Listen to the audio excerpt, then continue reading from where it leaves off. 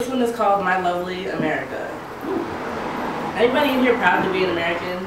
Yep. Yes. Yes. Well, I hope it stays that way after this. it's amazing how much things have changed. From we the people in America, the land of the freely enslaved. All cultures bound by social chains, they want to remain individual in a collective of minds that all think the same. A show of hands, who wants a job or has a job? I need one. Okay, cool.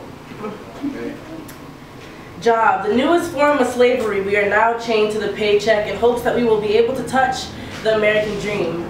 People from all over the world travel here to get a job. J-O-B, just over broke.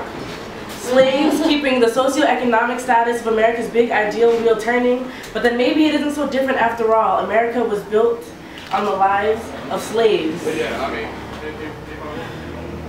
We hold these truths to be self-evident, that all men are created equal, that they are endowed by their Creator with certain unalienable rights, that among these are life, liberty, and the pursuit of happiness. That whenever any form of government becomes destructive of these ends, it is the right of the people to alter and abolish it.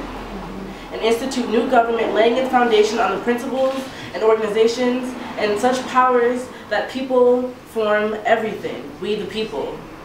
We the people have the right to overthrow the government and its misuses and abuses of power. And we have that proof in writing. So I constantly wonder why people don't want to make change.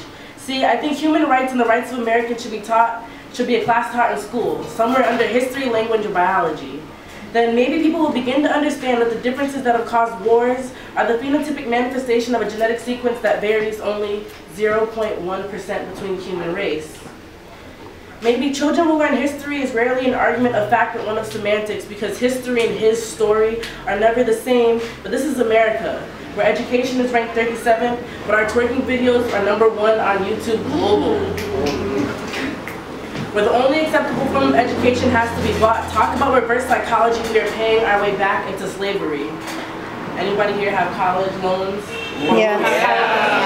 Sallie Mae, I'm telling you.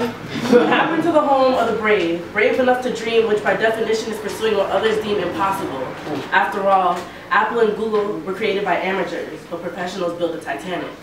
People brave enough to reach out and cause change, but this is America, where football players make more than first responders, hockey players make more than teachers, and baseball players, Jeter, his last game was like today, makes more than the President of the United States. America, where healthcare is a business and prison is an industry, where law enforcement is synonymous with brutality, where people don't expand their vocabulary. Ratchet is a tool to fix things, not to describe someone. America, home of the hypocritical prejudice. We are one nation under God with liberty and justice for all, as long as you pay a fee and hand over your rights and dignity. It's easy to point fingers and say that this is the result of a sociological institution and it's too difficult to change. But see, we the people of the people and by the people, we are this institution give the government power, supplying its corruption that flows through thick veins. We are the only ones who can stand up and cause change. Our deepest fear is not that we are inadequate. Our deepest fear is that we are powerful beyond measure, and there is nothing enlightened about shrinking your intelligence so that others won't feel insecure around you. As we liberate ourselves, we unconsciously give others the freedom to do the same.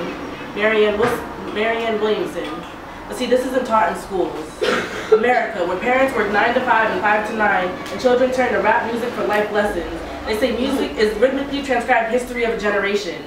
And our top grossing artists are Lil Wayne, Nicki Minaj, Justin Bieber, Miley Cyrus, Young Buck, and Soulja Boy was one of them. If each generation is inspired by one before, I am afraid good music will never come back. If each generation is inspired by the one before, I'm afraid we might never be free again. This cycle has gone on for centuries, slavery adapting and evolving, taking root in our ignorant complacency. All hope will be lost, but education is the key.